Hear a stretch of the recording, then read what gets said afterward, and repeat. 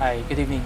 So, sa episode natin ng na to ng Geek Talk Vlog ay gusto kong ay discuss yung pelikulang Mirage na available ngayon sa Netflix. Is siya actually originally uh, Spanish movie 2018 pa siya ginawa.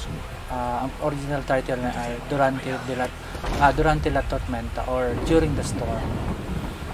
Uh, ang plot ng movie na to ay isa siyang science fiction movie na similar siya sa kung napanood niyo na yung Frequency na star year 2000 ng movie ni Dennis Quaid. Na yung mag-ama ay nakapag-communicate dahil gamit yung ham radio at binago nila yung history, yung timeline nila.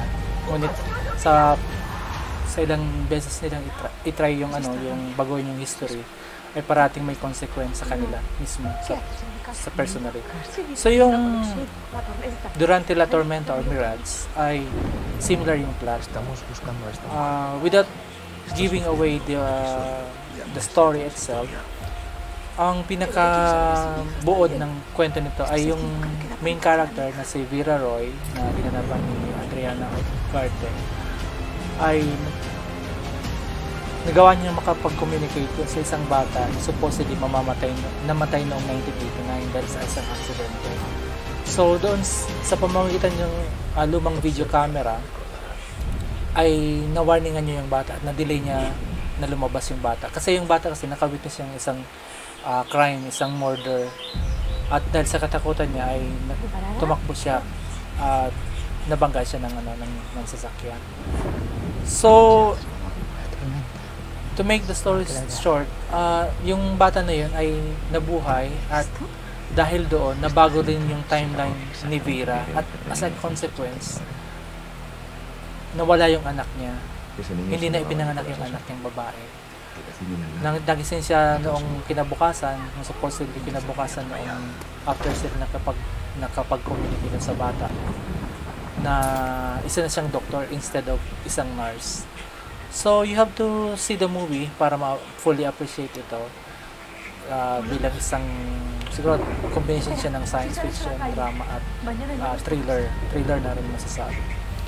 Uh, meron din itong subplot na isang uh, crime story na yung ang murder, murder ng isang Actually, hindi naman siya murder, ngunit accident lang pala. Pero ngunit itinago lang ng ano, no, involved.